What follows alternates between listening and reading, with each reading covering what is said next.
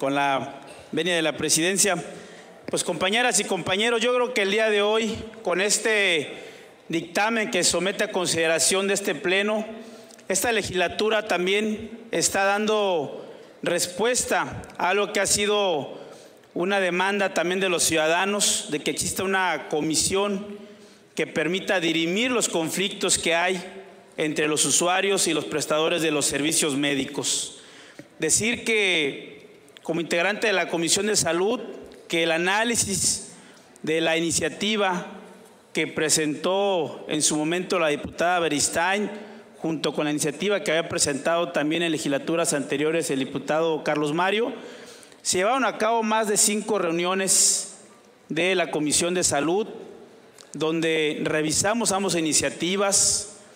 Hubo reuniones con prestadores de servicios médicos aquí en el Congreso, y en otros lugares también del Estado para escuchar sus opiniones.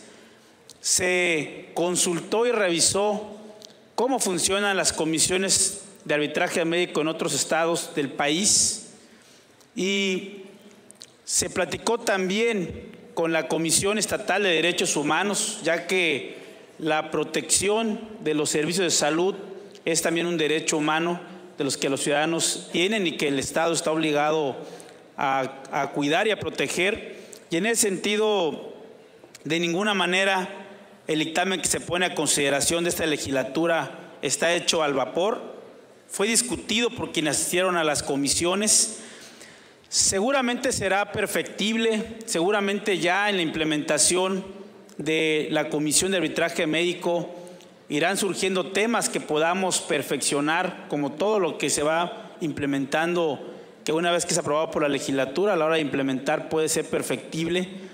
Pero estoy convencido que esta legislatura no debe dudar ni un segundo en que hoy podamos ya aprobar este dictamen que permita crear esta comisión de arbitraje médico. Esto va a poder equilibrar y le, también le va a dar voz a los usuarios de los servicios médicos, a aquellas personas que tienen alguna inconformidad con el servicio que se les presta, pero que de ninguna manera implica una desventaja para quienes prestan los servicios, para los médicos y para las clínicas. Existen hoy los colegios, pero los colegios médicos son eso, colegios de médicos. Esta comisión de arbitraje va a ser un espacio que permita que tanto los prestadores como los usuarios puedan argumentar, dirimir cualquier conflicto que haya.